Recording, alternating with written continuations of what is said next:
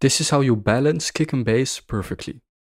First, add an EQ on your track and cut out all the high frequencies above 95 Hz. Download this free plugin called Youlean Loudness Meter. Add it after the EQ and play your track. If you want the perfect balance between your kick and bass, the difference in loudness should be about 6 dB. With that in mind, let's have a look at the graph. We can see that the kicks are hitting around this minus 6 dB mark. To see the loudness of the bass, we can have a look at this lower peak, which is around minus 12, which means these two are balanced perfectly. Let's have a listen.